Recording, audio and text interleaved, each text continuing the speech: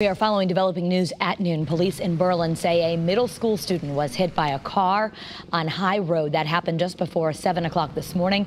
We're told by police that the boy was in the road when he was hit, but they're not sure why. He was taken to Connecticut Children's Medical Center with non-life threatening injuries.